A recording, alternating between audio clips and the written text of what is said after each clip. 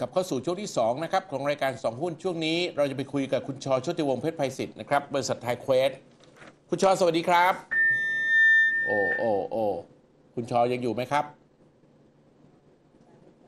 สายหลุดนะฮะ เดี๋ยวรอเจ้าหน้าที่ต่อนิดหนึ่งนะครับ จะคุยกับคุณชอเรื่องเทคนิคหน่อย พร้อมยังฮะ คุณชอครับ ครับสวัสดีครับ เชิญเลยครับพอดีเมื่อกี้สายหลุดเชิญเลยครับผมครับอ่าตลอดนะครับก็ตัวเนี้ยนะครับถ้าเราดูเริ่มจากในตัวภาพแรกเราจะเห็นนะครับ ว่าวันนี้ขอภาพเลยนะฮะเองข้างในขอภาพหน่อยฮะครับ ผมครับเชิญเลยครัภาบพแรกกันเลยครับครับแต่ภาพแรกจะเห็นนะครับว่าวันนี้เองเนี่ยถ้าพูดถึงภาพรวมของของตลาดหุ้นโดยส่วนใหญ่เนี่ยต้องบอกว่าค่อนข้างออกมาทางแนวบวกนะครับตลาดส่วนใหญ่ก็ออกมาทางบวกกันหมดเลยนะครับทางฝั่งครับยุโรปเองเปิดมาก็บวกดี แล้วก็ดัชนี future เอง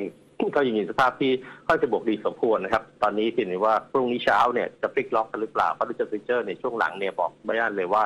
มันผันผวนพอสมควรนะครับ บางครั้งช่วงแรกบวกมากแต่สุดท้ายท้ายตลาดดาวโจนส์เองก็มีการเปลี่ยนแปลงได้เหมือนกันนะครับพวกนี้ก็ต้องลุ้นตัวดาวโจนส์ดาวโจนส์ตัวจริงแหละว่าจะสามารถจะเปิดจะจะสามารถจะปิดบวกได้เยอะเป็นร้อยจุดเหมือนดาว future ตอนนี้หรือเปล่านะครับแต่จุดสำคัญดาวโจนส์จากภาพแรกจะเห็นนะครับว่าดาวโจนส์จะทำนิวโลจะต่ำกว่าจะปิดต่ำกว่าสองหมื่นสี่ที่เราเห็น ถ้าเขาปิดต่ำกว่าสองหมื่นสี่ที่เราเห็นเนี่ยจะสัญญาณที่ไม่ค่อยดีเลยนะครับครับเพราะว่ามันจะทำให้ดาวโจนส์เนี่ยเกิดภาวะของการเป็นขาลงต่อเนื่องลงไปอีก ซึ่งมันจะส่งผลต่อเซ็ตเหมือนกันคืออย่างน้อยสุดเนี่ยถ้าโจดาวโจนส์ปิดใต้2,400ลงมาให้เราเห็นเนี่ยน่าจะทำให้เส้นของเราเนี่ยไหลไปหา1,600ต้นๆได้เหมือนกันนะครับ ครับในภาพถัดไปนะครับ เรามาดูพวกตัวกราฟของพวกอ่าตลาดหุ้นต่างประเทศกันบ้างนะครับ จะพบว่าตัวของ ทางเยอรมันหรือซึ่งเราจะใช้เป็นตัวแทนของฝั่งยุโรปก็เถอะจะเห็นได้ว่าทางเยอรมันเองเนี่ยภาพกราฟเองยังดูไม่ดีนะครับยังเป็นทางขาลงอยู่อยู่ใต้ค่าเฉลี่ยทุกเส้นคืออยู่ใต้ศูนย์ใต้ signal นะครับเรียกว่าภาพของฝั่งยุโรปเองไม่ค่อยดีเท่าไหร่ แต่ถ้าดูด้านย่านเอเชียเห็นว่าสถานการณ์ต่างๆกันเลยครับด้านเอเชียกลับเป็นว่ามันฟื้นตัวได้ดีนะครับ โดยเฉพาะอย่างยิ่งถ้าพูดถึงฟิลิปปินส์อินโดเห็นชัดเลยนะครับว่ามันปรับตัวมาเป็นขาขึ้นอย่างเห็นเด่นชัดแล้วนะครับ แต่หางเซ็งหรือตัวของฮ่องกงเองจะเห็นว่าพยายามจะขึ้นอยู่ แต่ก็ยังมีการ แข่งไกวพอสมควรนะครับเดิมทีเคยยืนในค่าเฉลี่ยได้ตั้งสิบยี่ห้าเจ็ดห้าสุดท้ายก็ไหลลงมาใต้ค่าเฉลี่ยกันใหม่ตอนนี้ตัวหางเซ็งเองก็พยายามจะต่อสู้กลับไปยืนเหนือค่าเฉลี่ยทั้งสิบยี่ห้าเจ็ดห้ากันใหม่นะครับ ครับ มาดูภาพของนักลงทุนต่างชาติกองทุนรายย่อยกันนะครับ จะเห็นนะครับว่า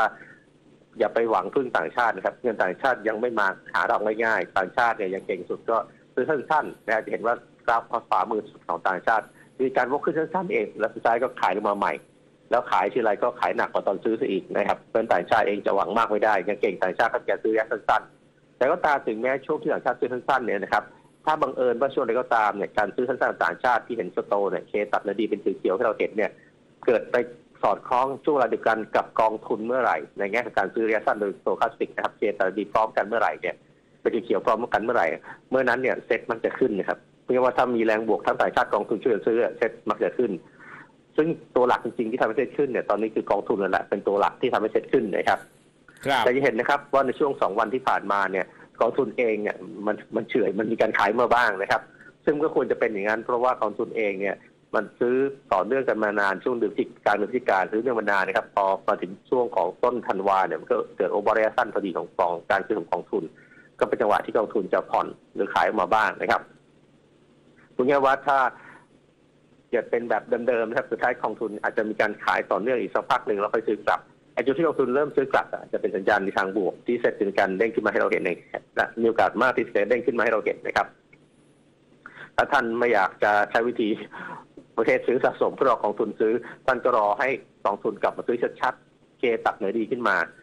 หรือจะเห็นจากการที่กองทุนเริ่มซื้อกลับมาซื้อทุกที่เป็นหลักเป็นล้านอย่างต่อเนื่องนะครับจุดนั้นก็เป็นจุดที่กองทุนจะ ซื้อต่อเนื่องและทางเซ็ตเด้งกลับมาได้บ้าง ซึ่งก็มีความเป็นไปได้นะครับในช่วงของก่อนสิ้นปีนะครับพูดง่ายๆว่า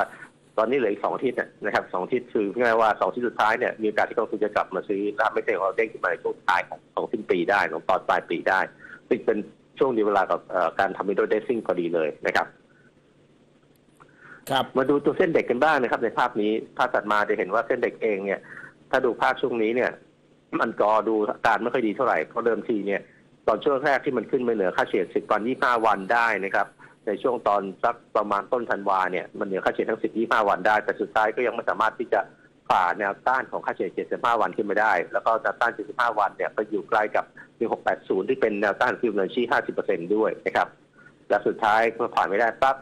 มันก็ย่อตัวลงมาแต่การย่อตัวของเขาเนี่ยไม่ค่อยสวยแหละเพราะว่ามันเป็นการย่อตัวแบบกระโดด gap ลงมานะครับเป็นเป็นภาพเหมือนเป็นเกาะนะครับปล่อยเกาะอยู่ข้างบน มันก็ทำให้เกิดการไหลต่อเนื่องลงมาสามวันสี่วันนี้เอง แล้วก็วันนี้ที่เห็นนะครับว่ามันลงมาขนาดที่ว่าหลุดค่าเฉลี่ยทั้งสิบยี่ห้าเจ็ดสิบห้าสองร้อยวันมาอีกรอบหนึ่งนะครับ ซึ่งสถานการณ์ตรงนี้เนี่ยค่อนข้างที่จะพูดง่ายว่าเป็นฝั่งที่ดูไม่ค่อยดี ถ้าไม่รีบดีดกลับให้เหนือ1650ในวันในวันพรุ่งนี้หรือสองสามวันข้างหน้านี้นะครับ มันจะเป็นสถานการณ์ที่ค่อยเก่งก็ทรงหรือยังยังแย่ก็ลงนะครับ จนกว่าจะเกิดเพราะว่าโอเวอร์โซของโซคลาสสิกคือเคใต้20เมื่อไหร่ ก็มีโอกาสจะเด้งซึ่งตรงนั้นนะมันต้องใช้เวลานิดหนึ่งนะครับ แต่ถ้าพลิกอย่างรวดเร็วคือรีบกลับมายืนเหนือ1650 ให้ได้นะครับ ในเร็ววันนี้ก็จะเป็นสัญญาณที่เริ่มการพื้นตัวอย่างเห็นชัด แต่ถ้าไม่รีบฟื้นตัวหมายความว่าไม่จะออกการไม่ทรงก็ลงจนกว่าสโตมีการโอโซแล้วค่อยมาลุ้นอีก ซึ่งถ้าเป็นอย่างนั้นเนี่ย จุดเลวร้ายคือถ้าเขาปิดใต้ 1630 เมื่อไหร่เนี่ย มันอาจจะไหลเอื่อยเอื่อยลงไปหาพันหกร้อยต้นๆได้นะครับสำหรับตัวเซ็นเด็กครับ มาดูภาพถัดมานะครับ ภาพถัดมาจะเป็นภาพของชิโมกุเจนนะครับว่าชิโมกุเองเนี่ย มันไปเห็นเห็นชัดเลยว่าไอ้ล่าสุดที่มันลงมาเพราะว่ามันไม่สามารถผ่านแนวต้านตัวเมฆชิโมกุขึ้นไปได้เมฆสีแดงชิโมกุเป็นแนวต้านนะครับขึ้นไปในตัวเมฆเสร็จแล้วก็ไม่สามารถทะลุเหนือก้อนเมฆประมาณ 1680 ไปได้ แล้วก็พักตัวลงมานะครับ แล้วตอนนี้ก็พักตัวลงอยู่ใต้ก้อนเมฆก็อยู่ใต้เส้นชิโมกุหมดทั้งหมดทุกเส้นเลยนะครับ ในช่วงนี้เนี่ยถ้าช่วงสั้นมันจะดีเนี่ยอย่างน้อยสุดเนี่ย ตมันต้องพ้นไอตัวเมฆชิโมกุขึ้นมาสักเส้นให้ได้นะครับ ซึ่งถ้าดูเส้นใกล้สุดเนี่ยก็อยู่ประมาณ1643นะครับนะ1643เส้นถัดมาคือ1655จะผ่านสองเส้นนี้ได้แล้วค่อยมาลุ้นขึ้นไปข้างบนนะครับ ครับ ส่วนในแง่ของการลงต่อจะเห็นนะครับ จะมีแนวฟิโบนัชชีผมตีไว้ว่า ถ้าเกิดมันไม่สามารถจะตีกลับข้างบนได้เนี่ยแนวสำคัญที่อยู่ด้านล่างคือใกล้คือถ้าอาจจะบอกว่า1630บวกลบก็ได้หรือแค่ตัวเลขตรงๆคือบอกว่า1628กับ1625 จะเป็นแนวรับฟิโบนัชชีที่ใกล้สุด คือถ้าหลุดแนวนี้ลงไปเนี่ยก็ตรึกในใจว่ามีโอกาสไปหาพันหกร้อยต้นๆแหละนะครับ1628กับ1625นะครับ ตัวเลขนี้ถ้าเป็นตัวครับวัดโดยฟิโบนัชชีมาดูอีกภาพถัดมาถ้ามาเนี่ยเป็นภาพที่เน้นเรื่องของสัญญาณโอ overbought oversold นะครับในของสัญญาณโอตอนนี้คงเราคงเล่นที่สัญญาณ oversold แหละเพราะว่าไซกำลังปรับตัวลงอยู่ถ้าดูในเชิง oversold เองเนี่ยในภาพบนสุดจะเป็นบน Bollinger Band นะครับ oversold Bollinger Band บอกว่า จะอยู่ใกล้ๆพันหกร้อยบวกลบพันร้อยต้นพันร้อยใกล้ๆพันหกร้อยแหละเป็นตัว oversold ของ Bollinger Band ถ้าเป็นของ stochastic เนี่ยถือว่าใกล้ละใกล้ oversold ละเพราะ sto เนี่ยตอนนี้เราอยู่ที่ยี่สิบแปดนะครับหลือนิดเดียวถึงยี่สิบถ้ายี่สิบเมื่อไหร่ใต้ยี่สิบลงมาเมื่อไหร่คือ oversold นะครับส่วนตัว moving average oscillator เนี่ยมันลงยังไม่ถึง oversold นะครับ แต่ก็มีสัญญาณเชิงบวกว่ามันมีการเริ่มวกขึ้นให้เห็นนะครับ ส่วนตัว RSI เองนะตอนนี้ก็ยังเป็นสัญญาณที่ทรงเรียกว่า มีการทรงๆให้เราเห็นวันสองวันนี้นะครับ แต่ก็ยังไม่โอเวอร์โซเหมือนกัน ถ้าพูด MC ด้านล่างนิดหนึ่งนะครับ MC ด้านล่างนิดหนึ่งเนี่ยสัญญาณที่ดีอย่างถึงแม้ว่า MC จะใต้สูงนะครับ MC เนี่ยอยู่เหนือสัญญาณนั่นแสดงการว่ามันจะมีแรงพยุงอยู่นะครับ แต่ถ้าเกิด MCD มันเกิดใต้ศูนย์นิปอยแล้วยังตัดมาใต้ซิกแนลด้วย อันนั้นชัดเลยว่าจะมีโอกาสที่จะไหลลงมาด้านล่างต่อหรือไหลมาหากระตุกต่อนะครับ ภาพถัดมามาดูกลุ่มแรกกันเลยนะครับ กลุ่มเด่นๆวันนี้กลุ่มแรกนะครับคือกลุ่มของ commerce ครับ commerce หรือค้าปลีกจะเห็นนะครับ ว่ามีสถานการสร้างยอดฐานยกสูงขึ้นนะครับ แล้วก็สามารถยืนขึ้นเหนือค่าเฉลี่ยได้ทั้ง 10 25 75 วันเรียบร้อย MC อยู่เหนือศูนย์เหนือ signal ด้วยถ้าเก่งนะกลุ่มนี้ แล้วถ้าดูเมฆ Ichimoku เองก็เป็นการขึ้นมายืนเหนือเมฆ Ichimoku ได้แล้วนะครับ กลุ่มนี้เดิมทีเนี่ยเคยตกมาตั้งแต่ช่วงกลางปีนะครับ ตอนนี้เป็นสัญญาณที่มีโอกาสที่จะฟื้นตัวนะครับแต่จุดสำคัญของกลุ่มนี้คืออย่าหลุดแนวรับสำคัญลงมา แล้วสำคัญที่รับที่ทำให้เกิดจากเป็นลงพลิกเป็นลงใหม่คือประมาณสักสี่สี่หมื่นนะครับ ถ้าแกหลุดสี่หมื่นลงมาจะเป็นการหลุดใต้ค่าเฉลี่ยทุกเส้น และก็หลุดใต้กรอบร่างของริมชี้ขึ้นด้วยนะครับ ถ้าหลุดใต้กรอบร่างของริมชี้ขึ้นเนี่ยมันอาจจะลงต่อยในความสูงของริมได้นะครับในนี้ก็ระวังหนึ่งว่าอย่าลงข้างล่าง ส่วนในทางบวกก็คือว่า ถ้าดีคือพยายามขึ้นมาให้เหนือระดับ 41,500 ให้ได้นะครับทะลุกรอบริมบนให้ได้ จะได้ทำลายลูกริมไปครับแล้วค่อยไปลุ้นตรง ถ้าพ้น 41,500 ได้ แล้วค่อยไปลุ้น 4,200 4,300และ42,000 43,000 อีกทีนะครับ ครับ โดยรวมกลุ่มนี้ถือว่าพอลุ้นเลย ถ้าเซ็ตสามารถทรงตัวแล้วปรับเป็นขาขึ้นได้ กลุ่มนี้จะเป็นตัวตัวนำในการขึ้นในรอบนี้นะครับ อืม กลุ่มถัดมานะครับ กลุ่มโรงพยาบาลโรงพยาบาลนี่ตอนแรกตั้งค่าเขาจะดีนะครับ เพราะว่ามันขึ้นมาค่อนจะแรงเลย แต่สุดท้ายสองวันนี้ปรับตัวเป็นแท่งแดงยาวสองวันเลยนะครับ เป็นเป็นกลุ่มที่พวกนี้ว่าตอนแรกขึ้นมาชันเลย ขึ้นมาชันเลยนะครับ ตอนช่วงตอนช่วงประมาณกลางเดือนสิบเอ็ดเนี่ยสุดท้ายพอมาวันสองวันนี้เนี่ยปรับเต็มลงแรงเลยแต่ก็ตามถึงมันจะจับลงแรงนะครับ กลุ่มนี้ก็ยังคงสภาพยังตอนนี้ยังพอลุ้นคงสภาพขาขึ้นได้นะครับสังเกตว่ายังยืนอยู่เมฆชิมะกุนะฮะแล้วเมฆชิมกุเนี่ยนะก็จะเป็นสีเขียว แต่จุดสำคัญในแง่แนวรับค่าเฉลี่ยคือว่าอย่าหลุดใต้แนวรับสำคัญลงมา คือแนวรับค่าเฉลี่ยดับ 25 วันนะครับ ตอนนี้เนี่ยเขาอยู่ที่ 5,009นะครับแนวรับ 25 วันเส้นล่างสุดเนี่ยนะครับ อยู่ที่5871 โดยประมาณนะครับอย่าหลุด 5871 ลงมานะครับถ้าหลุด 5871 ลงมาเนี่ย มันจะเป็นการหลุดค่าเฉลี่ยทั้ง 10 วัน 25 วัน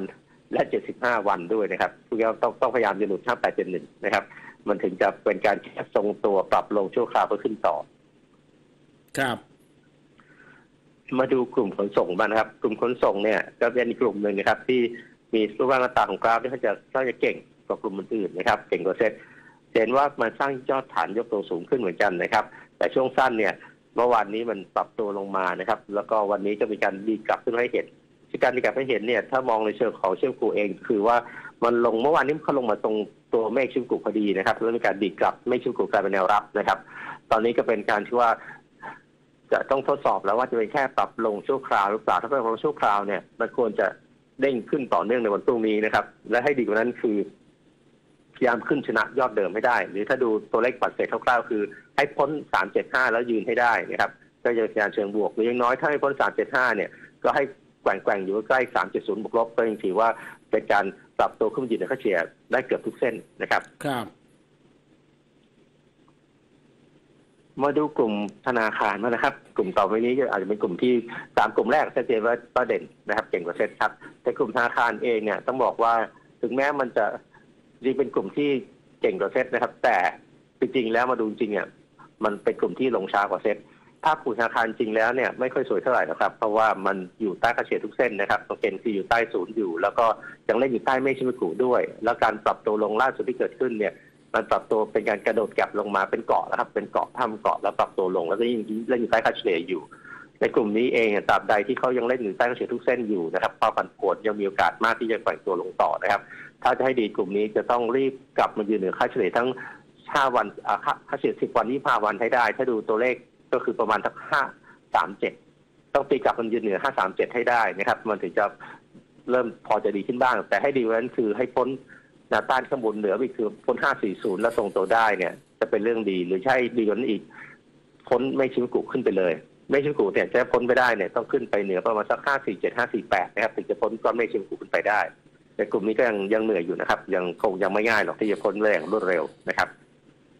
ครักลุ่มบถัดมานะครับคือกลุ่มของ วัสดุก่อสร้างนะครับวัสดุก่อสร้างเนี่ยตอนแรกเนี่ยก็ตอนตัวขาขึ้นค่อนข้างจะดูดีนะครับ ยอดฐานยกสูง แต่สี่ห้าวันวันนี้มันมันพลิกครับมันพลิกแทนที่มันจะทรงตัวได้แล้วสร้างเป็นบันไดขาขึ้นไปเรื่อยนะครับ ปรากฏว่ามันลงมาใต้ค่าเฉลี่ยทุกเส้นเลยนะครับ และสังเกตว่ามันหลุดอัพเทนไลน์ด้วย แล้วลงใต้เฉลี่ยทุกเส้นด้วย และก็ลงมาอยู่ในเมฆชิมกุด้วยนะครับ ตอนนี้ก็ต้องรุ้นแล้วครับว่าระดับซูเปอร์ที่38.2%ที่อยู่ใกล้ๆกับ ตำแหน่งราคาปัจจุบันเนี่ยมันจะทรงตัวได้อยู่หรือเปล่า หรือจะดีกลับหรือเปล่านะครับ แต่ก็น่ารุ้นเหมือนกันเพราะว่ามันงานของสโตเนี่ยมันเริ่มโอเวอร์โซแล้วค่าเกณฑ์สโตของตัวนี้มัน 12นะครับมันใกล้ที่จะมีอาการที่ใกล้จะเด้งกลับแล้วเหมือนกันเนี่ยว่าถ้าให้ดีพรุ่งนี้ต้องรีบรีบเด้งและเด้งให้พ้นเหนือเมฆชิกุขึ้นมาให้ได้นะครับคือพ้นประมาณสักหนึ่งหมื่นหนึ่งพันห้าหนึ่งหมื่นหนึ่งพันห้าสิบขึ้นมาให้ได้เป็นการพ้นก้อนเมฆขึ้นมาใหม่นะครับและให้ดีกว่านั้นคือพ้นค่าเฉลี่ยขึ้นมาทั้งสิบยี่ห้าจุดพลันขึ้นมาใหม่คือประมาณสัก หนึ่งหนึ่งพันหนึ่งหนึ่งหมื่นหนึ่งพันหนึ่งร้อยก็พ้นค่าเฉลี่ยขึ้นมาได้เกือบทุกเส้นนะครับ ครับตอนนี้มาดูกลุ่มพวกปิโตรเคมีบ้างครับปิโตรเคมีเองจะเห็นนะครับว่า ตอนนี้เนี่ยมันสร้างตัวเป็นกรอบคล้ายๆสามเหลี่ยมนะครับเงี้ยว่าชื่อคือกรอบสามเหลี่ยมอยู่นะครับ ถ้ายังอยู่ในกรอบสามเหลี่ยมอยู่ก็ยังพอลุ้นนะครับ ว่าอาจจะยังไซด์เวย์ไปเรื่อยๆแต่ถ้าจุดที่มันจะเลือกเลือกทางชัดเจนคือ ถ้าเลือกฝั่งขึ้นเนี่ย มันจะทะลุประมาณพันสี่ขึ้นไป ทะลุพันสี่ขึ้นไปจะทะลุกรอบกรอบสามเหลี่ยมด้านบนด้วย แล้วจะทะลุค่าเฉลี่ย75วันด้วยนะครับแต่ทางกลับกันนะครับ ถ้ามันเลือกฝั่งลงอะมันจะเป็นการหลุดใต้หนึ่งสามสามศูนย์โดยประมาณนะครับโดยปัจเศษหน่อย ถ้าหลุดหนึ่งสามศูนย์บวกลบมาปั๊บเนี่ยเป็นการเลือกข้างหรือว่าจะเลือกฝั่งลง ซึ่งจะเกิดการลงนะเป็นลงต่อเนื่องอย่างละความสูงสามเหลี่ยมได้เหมือนกันนะครับแต่สำหรับตัวเลขฟิวชี่เองเนี่ยนะครับต้องบอกว่าถ้ามันทะลุกรอบบนสามเหลี่ยมขึ้นไปได้เนี่ยมันก็เป็นการทะลุตัวก้อนเมฆ ไปเหนือก้อนเมฆชิมากุด้วยเหมือนกันนะครับ เป็นทางสองการเสริมกันพอดี ครับ ตอนนี้ก็เป็นตัวรุ่นแล้วครับว่าไฟเบสจะเลือกทางไหนสำหรับปิโตรเคมีนะครับ มาดูกลุ่มของพวกท่องเที่ยวกันบ้างนะครับ ตัวท่องเที่ยวเองนะครับ ในสองสามวันนี้ก็พบว่านะครับ มันปรับตัวลงค่อนจะเยอะเปิดตัวโดยเฉพาะวันนี้นะครับปรับตัวเป็นแท่งแดงยาวเลยและการปรับตัวแท่งยาวเนี่ยทำให้กราฟมันเสียรูปพอสมควรนะครับ เพราะว่าเป็นการปรับลงมาใต้เมฆชิมากุอีกรอบนะครับ เราเป็นการปรับตัวใต้ค่าเฉลี่ยหมดทุกเส้นอีกรอบหนึ่งนะครับ ในในช่วงนี้ถือแม้ว่า MACD อาจจะยังอยู่นิดหนึ่ง MC อยู่เหนือศูนย์ได้อยู่นะครับเพียงว่าท้ายดีต้องพยายามรีบดีกลับให้เร็วนะครับผู้ย้ายจะหลุดถึง650 และดีกลับให้เร็วจะดีที่สุด แต่ก็ยังมีติ่งอยู่นิดนึงถ้าสมมติว่าลงมาจะมี 66.67 หรือ 61.8%ของตัวชี้ตรงแถว 645 โดยประมาณเนี่ยอาจจะเป็นแนวสุดท้าย ถ้าตรงนี้ลงมาไม่เด้งเนี่ย ก็ก็แย่ละถ้ากับว่ามันอาจจะลงมาหาจุดต่ำเดิมที่ 625 ได้ครับ ครับ มาดูเรื่องของค่าเงินบาทกันบ้างนะครับ ค่าเงินบาทเองจะพบว่านะครับ หลังจากที่ค่าเงินบาทเองเคยไซด์เวย์เป็นสามเหลี่ยมสักพักนะครับ ตอนนี้เนี่ยมันยังโน้มที่จะเปลี่ยนไปทางที่ชี้ลงที่หัวลงคือ มีโอกาสที่จะกลายเป็นการแข่งค่านะครับ ในระยะกลางได้เหมือนกันนะครับ ตอนนี้คือจุดสำคัญก็คือประมาณ326นะครับถ้าเขาหลุดใต้326ลงมาเนี่ยครับหรือลงต่ำกว่าฐานเดิมลงมาเนี่ย มันจะเป็นการที่ มีโอกาสที่จะเปลี่ยนแข่งค่าต่อเนื่อง ซึ่งการแข่งค่าต่อเนื่องนี้จะส่งผลทำให้เซ็ตของเราเนี่ยสามารถตีกลับก็ได้หรืออย่างน้อยก็สุดเพื่อพยุงเซ็ตไม่ให้ตกไปลึกนะครับ ถ้าถ้าหลุดใต้สามสองตกลงมาเนี่ยค่าบาทจะแข่งค่าต่อเนื่อง แล้วก็การหลุดใต้ก้อนเมฆชิมชิมกุลงมาด้วยนะครับไปยันเชิงบวกทันที แต่ทางกลับกันนะครับถ้าแทนที่มันจะแข่งค่าหรือที่หัวลงมา มันเปลี่ยนเป็นอ่อนค่าขึ้นไปเหนือสามสามบาทตอนหนึ่งยูส่วนล่าเมื่อไหร่ อันนั้นอันนั้นจะไม่ดีแล้วนะครับ มันจะกลายเป็นว่าการการ อ่อนค่าต่อเนื่อง แล้วถ้ามีภาพการอ่อนค่าต่อเนื่องเนี่ย มันอาจจะสุดที่เซ็ตของเราลงต่อได้นะครับ ครับ มาดูเรื่องมันโลกนะครับ แล้วก็จบเรื่องทองเรื่องของกราฟทองตัวมันโลกจะพบนะครับว่าเห็นตั้งแต่เดือนตุลาเนี่ยมันลงมาหนักนะครับ ลงจากเดือนตุลาลงมาจาก 75 เหรียญลงมา 50 เหรียญแล้วนะครับ แต่ช่วงนี้จะเห็นนะครับว่าพอมาช่วงช่วงตั้งแต่ปลายปลายพฤศจิกาจนถึงจนถึงช่วงนี้เนี่ยอันบ่ายจะพบว่ามันเริ่มมีการทรงๆนะครับ ออกออกมีสัตว์ที่ว่าเริ่มทรงตัวได้นะครับ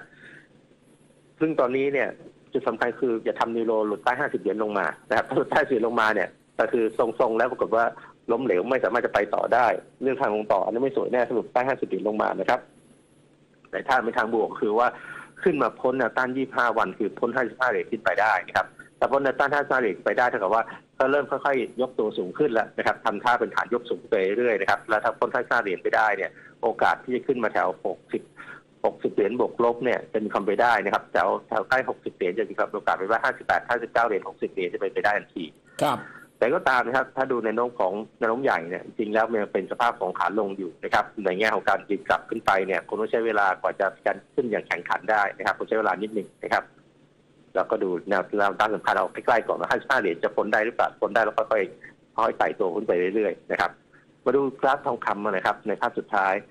ค่าทองคำเองจะพบนะครับว่าตัวค่าทองคำเองเนี่ยสถานการณ์ของทองเนี่ยเริ่มดูดีขึ้นนะครับเห็นภาพไปเลยครับว่าทองคำมันสร้างฐานยกสูงนะครับ แล้วก็ยอดฐานยกสูงไปเรื่อยๆแล้วก็เล่นมาเหนือเมฆชิมกุเรียบร้อยแล้วนะครับ ในช่วงสั้น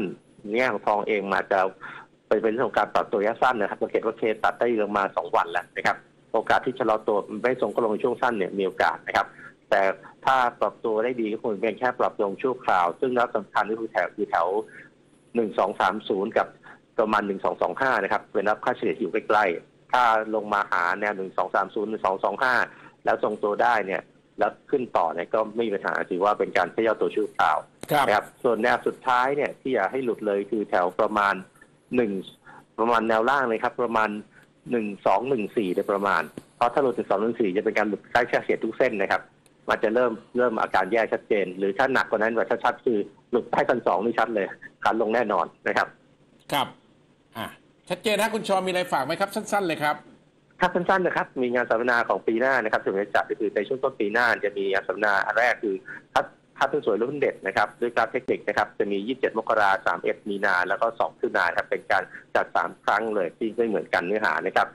แล้วก็เหมาะสำหรับท่านที่พอเป็นกราฟบ้างแล้วนะครับ แล้วก็มาดูกราฟด้วยกัน แล้วก็ดูหุ้นดูวิธีการคัดหุ้นแล้วการหาหุ้นและการวางแผนว่าจะซื้อขายซื้อตรงไหนขายตรงไหนกันนะครับ แล้วก็หลักอีกอันหนึงเป็นหลักสูตรเสพหุ้นให้รวยด้วยกราฟสิ่งง่ายๆที่ใช้ได้ครับผลนะครับครับ อันนี้เป็นการสอนแบบท่านที่ไม่เป็นเลยหรือท่านที่เป็นแล้วพอเป็นบ้างแต่ยังไม่เก่งเนี่ยมาเจอกันสองวันนะครับ รวมรวบรวมกันของกราฟิกทั้งหมดเลยนะครับตั้งแต่การหาหุ้นวางแผนซื้อขายรวมปูพื้นฐานเบสิกท่านที่ไม่เป็นเลยก็เป็นบ้างแต่ไม่เก่งเนี่ยไปเรียนวันที่10 16ถึง7มีนานะครับมหาทุนทางภาคเติมจิตนะครับครับสนใจชัดเจนติดต่อครับได้ จับต่อนะครับ โอเคครับแคทอ่าไม่ไม่เป็นไรครับ สนใจดีออกมาเลยฮะ เบอร์ฮะ ด่วนเลยครับ ถ้าสนใจนะครับท่านติดต่อที่ 0 2 6 5 1 4 7 4 7 ต่อ 789 ดูดูที่ Facebook โชติวงศ์ก็ได้ครับ ขอบคุณครับ คุณชอครับ สวัสดีครับ สวัสดีครับ ครับท่านผู้ชมครับเวลาเราหมดจริง ๆ ครับ วันนี้ไม่มีเปิดสายนะครับ ผมลาไปก่อนพบกันใหม่วันพรุ่งนี้ครับ สวัสดีครับ บริษัท